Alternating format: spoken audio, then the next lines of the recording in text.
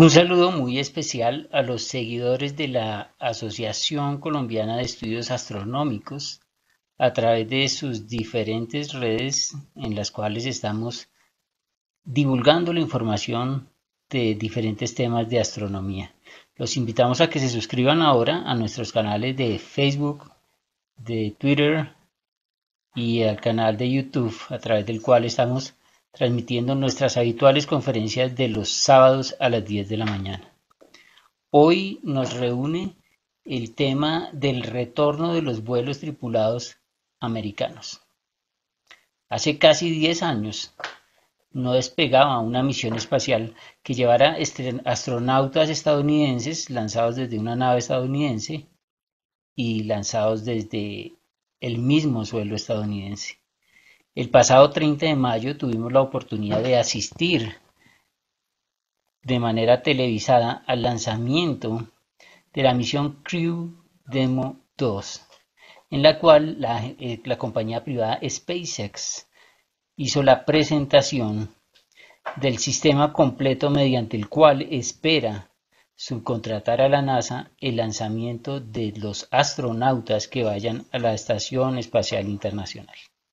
Esa es la charla que vamos a hacer hoy y a lo que los invitamos que nos acompañen. Bienvenidos. Tal vez el lanzamiento, que no deja de ser una cosa espectacular, es apenas una de las partes de la misión que nos está congregando para conocer el día de hoy. El lanzamiento o esta misión en general tiene como objetivo probar todos los mecanismos que desarrolló desde 2010 la compañía SpaceX de Elon Musk para subcontratar el lanzamiento de personas a la estación espacial. Esto incluye cohetes, esto incluye naves, esto incluye procedimientos, esto incluye también recuperar las naves que se utilizan. El pasado eh, sábado 30 de mayo de 2020 comenzamos a ver la nueva historia de la exploración espacial humana con el lanzamiento que va a llevar, eh, que como pudimos observar y vamos a ver más adelante, se deshacía de parte del cohete y enviaba eh, la cápsula que conoceremos como Dragón hacia la Estación Espacial Internacional. Por su parte, la primera etapa del cohete que los lanzaba de unos 75 metros eh, se recuperaba y aterrizó posteriormente en una barcaza que está guiada automáticamente.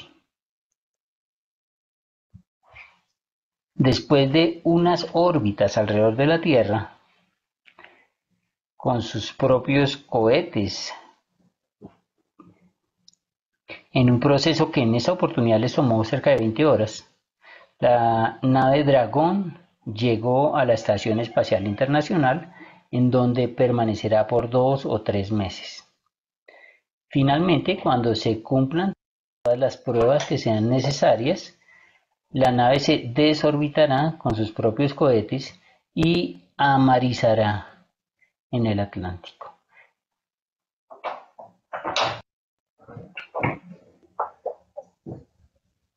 Aquí podemos observar cómo la nave se conecta con la Estación Espacial Internacional a través de sus puertos. La nave que vamos a ver que despega y que tiene una, altura de unos 7 metros, tiene un cono el cual se puede retraer y sirve para conectarse con la Estación Espacial Internacional y además de conectarse también es eh, el túnel a través del cual se conectan con la Estación Espacial Internacional. En esta imagen podemos encontrar la foto de los dos astronautas Harley y Benken durante el lanzamiento del parche de la misión. El parche de la misión es muy significativo, representa además de los nombres de los astronautas, Harley y Benken, que son astronautas de la NASA que han estado trabajando muy unidos con la compañía SpaceX para desarrollar dos naves muy especiales. En el parche aparece también F9, que es el Falcon 9, el cohete del cual les hablaremos adelante. También aparece la Estación Espacial Internacional, a donde van a ir el próximo jueves estos astronautas. en una misión que puede durar dos o tres meses. Las iniciales de DM2, que es la misión de demostración número 2, va a ser la primera vez que va a ser un vuelo tripulado en la sonda o en la nave Dragón, de la cual les vamos a mostrar también. Finalmente está el nombre de NASA y SpaceX con la bandera de los Estados Unidos. Robert Becken, el astronauta Robert Becken no es eh, una persona que haya, vaya a viajar por primera vez, por el contrario, tiene toda la experiencia, eh, tiene cerca de 708 horas de vuelo y fue en el transbordador espacial en la misión 123 y también en la misión 130. En esa misión fue cuando estaba el comandante Samka, George Samka, que tiene ascendencia colombiana. También está el astronauta Douglas Harley, que es coronel retirado del Cuerpo de Marines de Estados Unidos y que es astronauta de NASA, que ya había estado también en las misiones 127 y 135 del transbordador espacial. Este astronauta fue piloto de combate con los Marines y desde el 2000 también está eh, como astronauta de la NASA dentro de sus funciones. El lanzamiento de esta misión de demostración 2 se va a llevar a cabo desde la plataforma de lanzamiento 39A, la mítica plataforma de lanzamiento en la cual nosotros eh, vimos despegar al transbordador espacial muchas veces, pero desde la cual también despegó la misión Apolo. Esta plataforma de lanzamiento eh, ha cambiado un poco desde cuando nosotros la conocemos. el complejo de lanzamiento que como lo conocemos nosotros 39 pues tiene muchos componentes, está ubicado en el Centro Espacial Kennedy en la isla Merritt Island pero eh, desde 2014 eh, tiene, hay un contrato de arrendamiento y en el marco de ese contrato de arrendamiento la compañía SpaceX eh, se encargó por 20 años del arrendamiento de esta plataforma y desde allí pues hará los, los lanzamientos. La misión espacial como otras muy probablemente va a mantener desde aquí su operación puesto que están siendo ensamblados allí los cohetes. Hay una modificación, probablemente algunos de ustedes recuerden los famosos Vehicle Assembly Building, un edificio gigantesco como de 150 metros de altura al interior del cual se ensamblaba el transbordador espacial y al interior de él se ensamblaba también los, los Saturno 5 y los Apolo. Hoy en día eh, este esta construcción, esta integración no es vertical, sino es horizontal, por lo cual ya SpaceX construyó una plataforma y unas instalaciones aparte. La plataforma 39A se encuentra en el Centro Espacial Kennedy. Es un complejo gigantesco que queda en la Merritt Island, pero tiene mucho más que el solo lanzamiento. Alrededor eh, es una serie de instalaciones de diferentes tipos, entre ellos el centro de lanzamientos mismos, pero está el centro de visitantes, están los eh, escuadrones y los batallones aéreos que se encargan de la seguridad de los lanzamientos espaciales, eh, están los lugares desde donde se, donde se observa los lanzamientos tanto públicos como privados, se encuentra el famoso centro de visitantes, y en el camino hacia Orlando eh, y Daytona se encuentra el Salón de la Fama de los Astronautas y, los parques de, desde donde es cuales se ven los lanzamientos como el Space View Park. En esta diapositiva podemos observar la Crew Dragon o la Dragon 2 como también se le conoce, es la nave que va a llevar a los astronautas.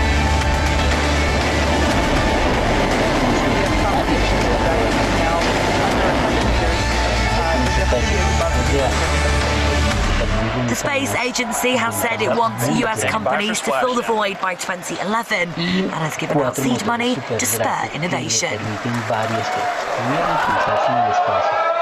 Segundo, le permiten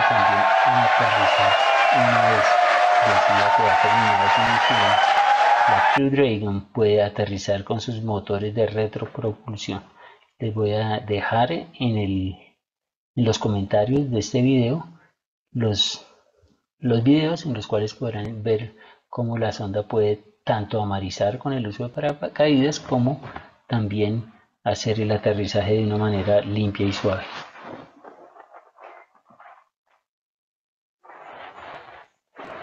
Aquí estamos viendo en el video cómo es el limpio aterrizaje de esta misión ya se ha probado, ya está funcionando y arriba su aterrizaje con paracaídas en el mar, lo que se conoce como el amarizaje.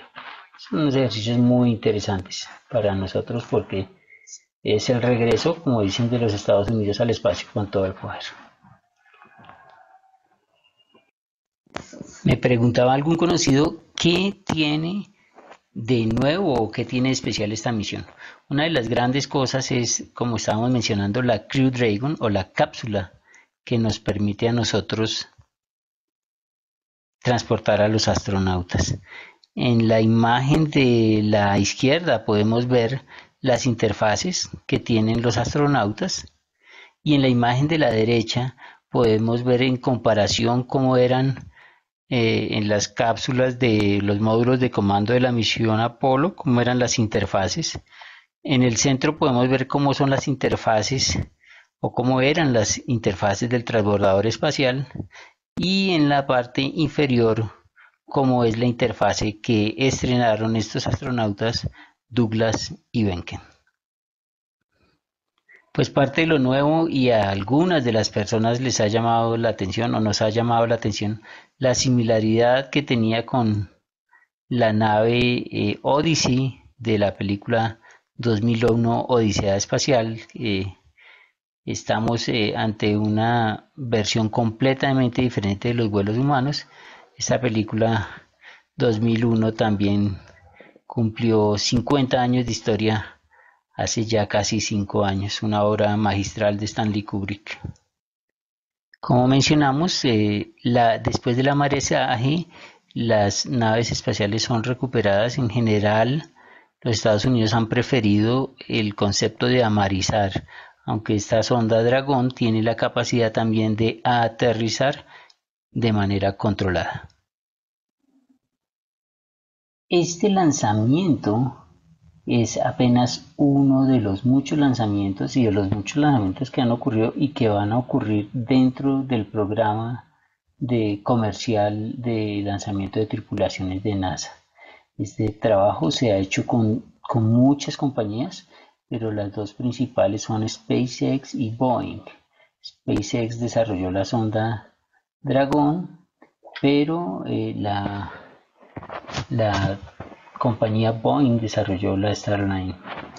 Este sistema se viene, como dijimos previamente, este programa de tripulaciones comercial en el cual entidades particulares o privadas están lanzando astronautas al espacio, trabaja sobre el principio de obtener mejores costos y desarrollar la industria privada.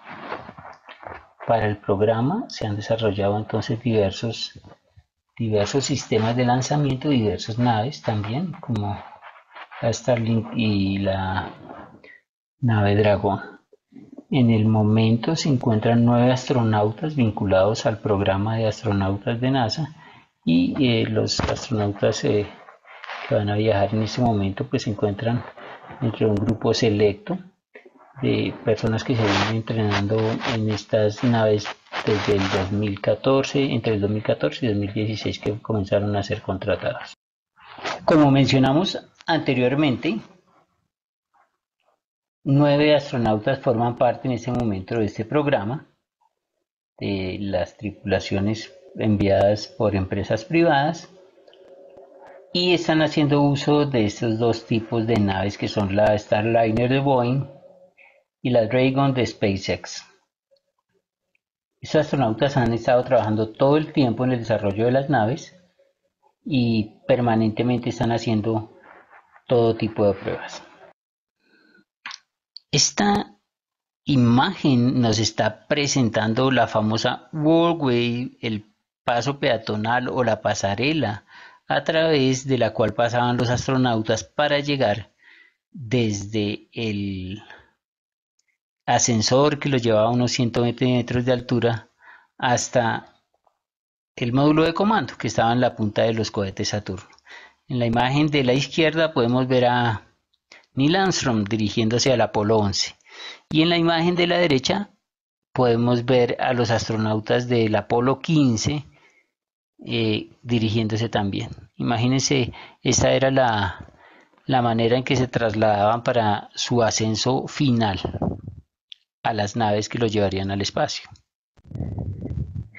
En esta imagen podemos ver a los astronautas de el Columbia en, también en la pasarela que tenían para llegar hasta el Columbia desde el ascensor que lo subía también más o menos unos 80 metros.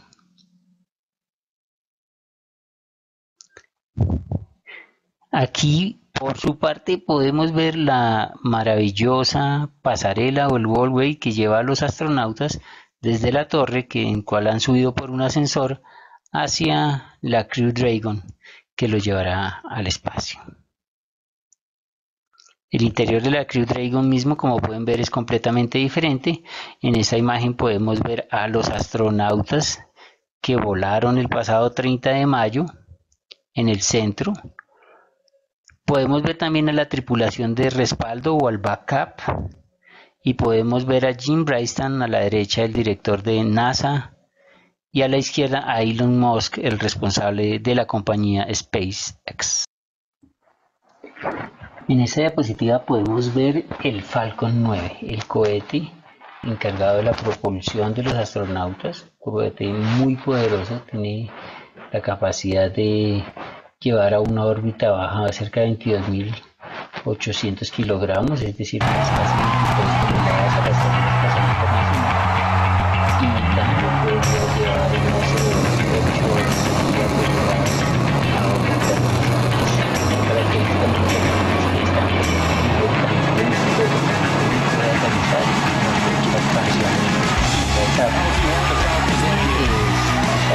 Haciendo SpaceX con ese cohete lanzamientos permanentes para poner satélites y cargarle el espacio.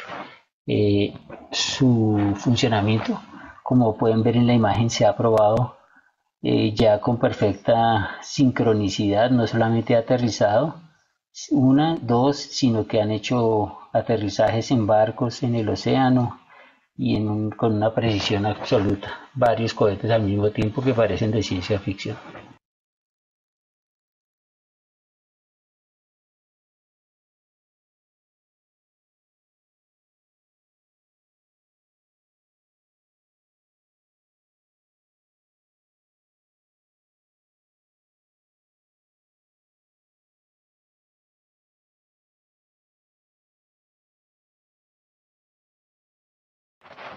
Cuando hablamos de la nave tenemos que hablar también de la presurización. En los aviones nosotros viajamos normalmente en cabinas que son presurizadas. ¿Qué significa? Que en el espacio no tenemos una presión o de hecho no hay una atmósfera que nos permita respirar. Entonces es necesario que en las cabinas, en las cabinas de los pilotos de combate y de algunos aviones, y especialmente en las naves espaciales, se cree una atmósfera artificial presurizada. La nave espacial tenemos eh, una zona que está presurizada, donde van los astronautas, y unas zonas que no van presurizadas, que son las zonas de servicio, y el tronco de la nave en donde están preservados también los cohetes.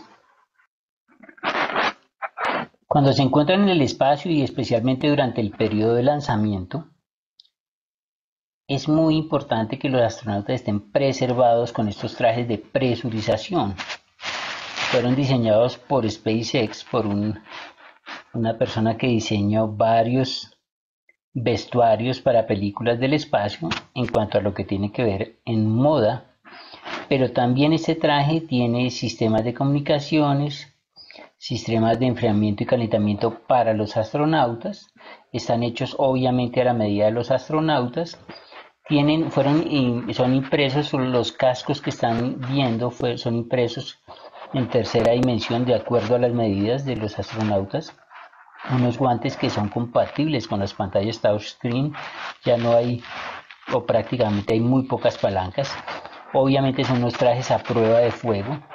Tienen protección estos cascos para el gran ruido que hay en el momento de lanzamiento. Tienen una conexión única, sencilla con el vehículo y tienen unas botas que son muy cómodas y descansadas para viajar. Estos trajes fueron utilizados ya por un señuelo, por un maniquí que viajó al espacio en un Tesla Roadster hace unos dos o tres años, en el Falcon 9, cuando se probó el Falcon. La prueba del Falcon no solamente fue despegar, sino fue llevar una carga útil, que fue ese vehículo Tesla Roadster. Tesla es de la misma familia de compañías de Elon Musk, un vehículo eléctrico, y el modelo X de Tesla, que está en el mercado desde 2015, es el vehículo en que viajaron los astronautas desde el cuarto blanco, en donde los acondicionan, hasta, hasta la base de lanzamiento 39A. Algo muy interesante es que como pueden ver ustedes en el cohete Falcon 9 está el viejo logo de la NASA que se inauguró para la época del transbordador espacial. Este se llamaba el logo del gusano porque parecía un gusano toda la forma. Eh, vuelve a aparecer y está como ahora como la imagen o el logo secundario para NASA. Como pueden ver el ensamble o la preparación de este cohete se hace de manera horizontal a diferencia de la práctica previa, llevando esto a tener un hangar o un edificio de ensamble que tiene cerca de 28 metros de altura. Una vez en el edificio de ensamble se ha terminado la unión de las diferentes piezas que conforman el sistema, Pueden ver en la parte de la izquierda el dragón, las personas, los carros que lo están movilizando, se desplazan desde el centro de ensamble hasta el centro de lanzamiento en un proceso muy meticuloso. Noten por favor la estructura que está transportando el cohete porque después va a ser la estructura que se despega del cohete en el momento del lanzamiento. El sistema que vimos anteriormente se desplaza completamente hasta la plataforma en la cual va a ser lanzado.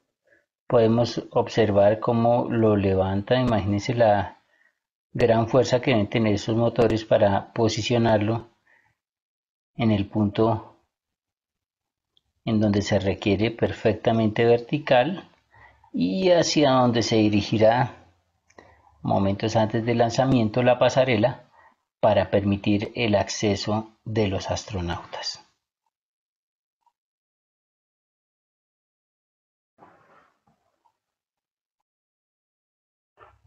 Como mencionamos anteriormente, varias partes del sistema son recuperadas y son reutilizadas, permitiendo reducir costos.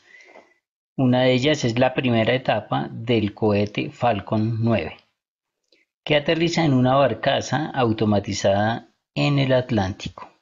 Esta barcaza después es remolcada hacia los puertos por una grúa que permite que se recupere la pieza. Eh, los nombres de Of Course I Love You y de Dragón vienen de canciones que le gustaban a Elon Musk y se tomó la decisión por parte de él de nombrarlas así.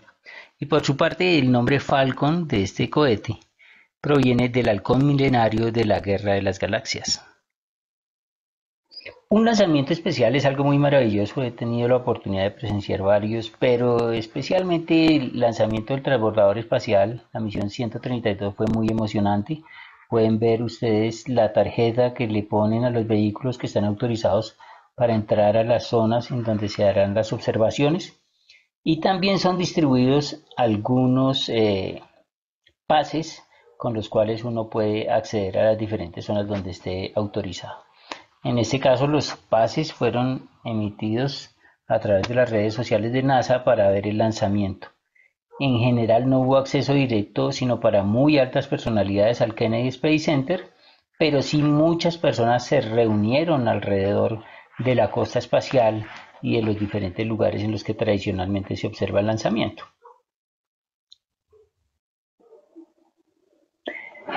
Dentro de las personas que asistieron al lanzamiento, tanto al intento de lanzamiento del miércoles 27 como al lanzamiento final que ocurrió el 30 de mayo, se presentaron todas las personalidades eh, de los Estados Unidos relacionadas con este programa espacial. Este programa espacial es una gran apuesta política para el gobierno del presidente Trump y estuvo presente en las dos ocasiones.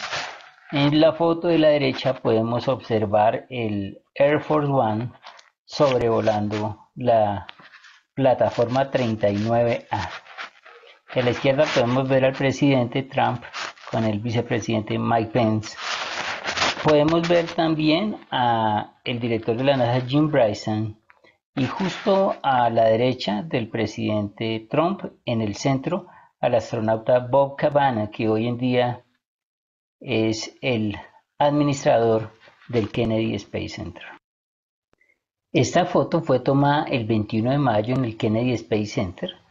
Es muy importante mencionar que los astronautas estaban en cuarentena desde el 16 de mayo y que solamente un grupo muy reducido de personas accedía a ellos en Houston, que es donde normalmente residen, y también en, en Cabo Kennedy, en donde estuvieron para el lanzamiento. Muy poca gente asistió al lanzamiento, sin embargo, y contrario a lo que pensaba inicialmente, eh, asistió la familia y se rediseñó todo el sistema como se venía operando normalmente para minimizar los traslados y el riesgo de infecciones, no solamente a esta tripulación, sino a la tripulación que se encuentra en este momento en la Estación Espacial Internacional. Probablemente no hay nada más emocionante que observar un lanzamiento, pero el lanzamiento no es lo único que es atractivo, es atractivo ver toda la preparación que hay para una misión espacial y también el desarrollo mismo de esa estación, de esa misión espacial.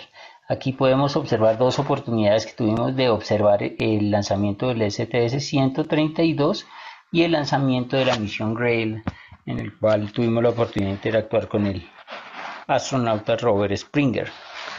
Sin embargo, un lanzamiento está lleno de incertidumbres.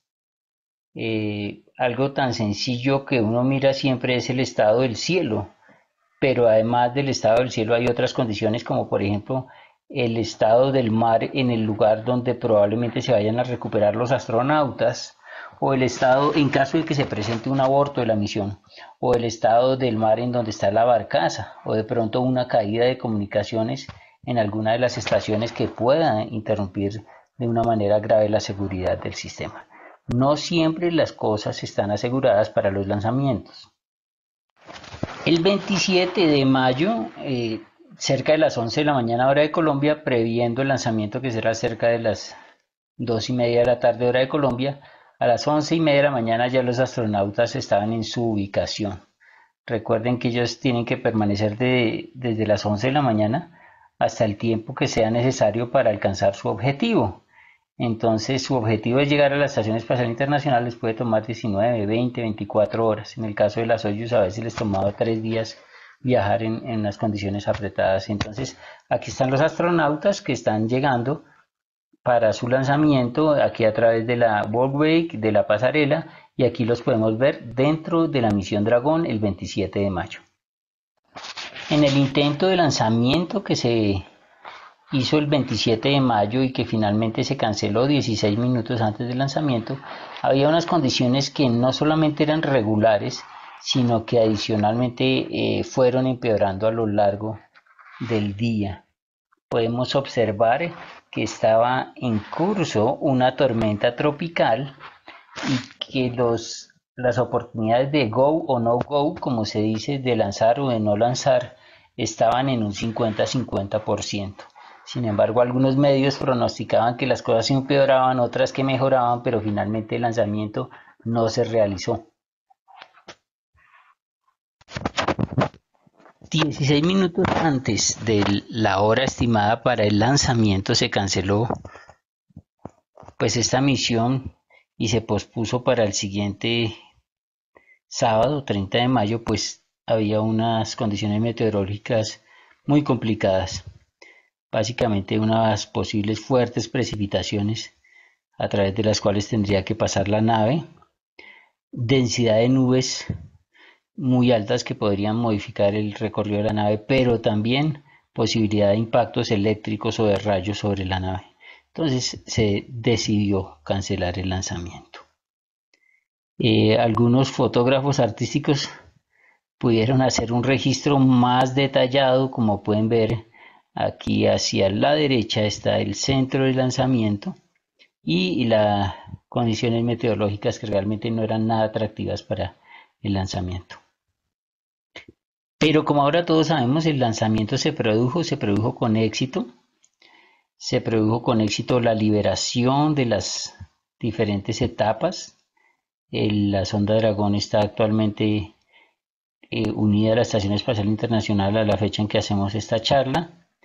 Eh, se recuperó la primera etapa, se perdió la comunicación un poco durante el aterrizaje. Es importante mencionar que el, control de la misión está en Hawthorne, California.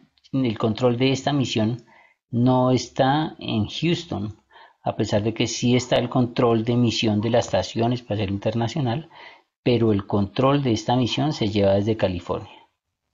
Y a la derecha podemos observar pues diferentes fases de los previos del lanzamiento donde los astronautas se paran y observan la mole que los va a llevar un abrazo virtual a algunos metros de distancia de sus familias de los astronautas, cuyas dos esposas también fueron astronautas del transbordador espacial y su paso por la pasarela.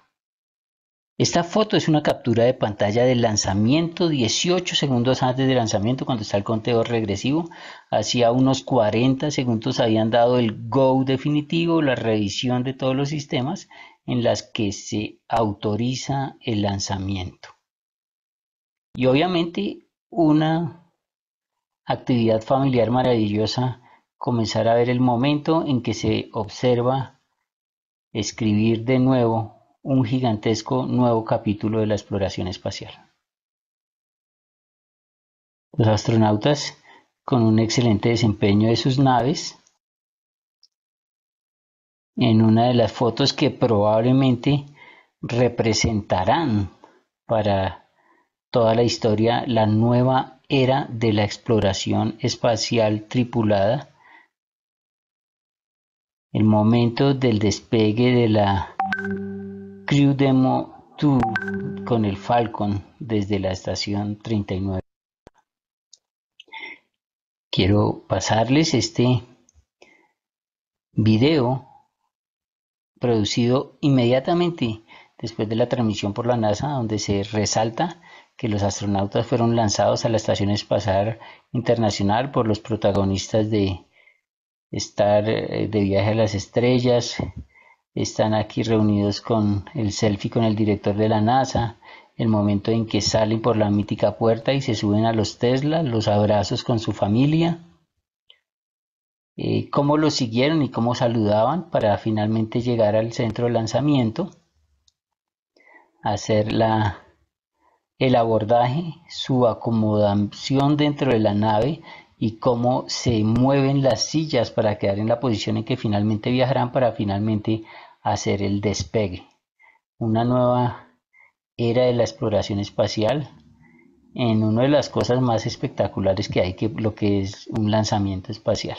Ahí estaban el presidente Trump, el presidente Pence, su señora, y las palabras en las cuales resaltó que todo lo hicimos, el señor presidente Trump resalta que todo lo hicimos y ponemos de nuevo a los Estados Unidos en el espacio. Un video muy emotivo que vale la pena que busquen en las redes y lo disfruten. Quiero mencionar que mucha de la información que estoy presentando en esta charla proviene del Facebook Group de Launch America Thank you to all the people, to all the guys who have give information, pictures and videos for this spec. En esta foto se observa que el paso de la Crew Dragon es una fotografía de unos 8 segundos en la cual se muestra el paso de la sonda por algún lugar de Inglaterra. Tengo entendido que estaba en la trayectoria. ¿Por qué de noche? Porque, pues si bien el lanzamiento fue a las 2 y media hora de la tarde de Colombia, cuando pasó sobre Inglaterra ya eran las 7 de la noche y por eso la sonda se ve de noche. Cerca de nueve minutos después del lanzamiento se produce el aterrizaje de el Falcon, la primera etapa del Falcon en una barcaza en el Atlántico. Es una operación maravillosamente milimétrica que parece de ciencia ficción.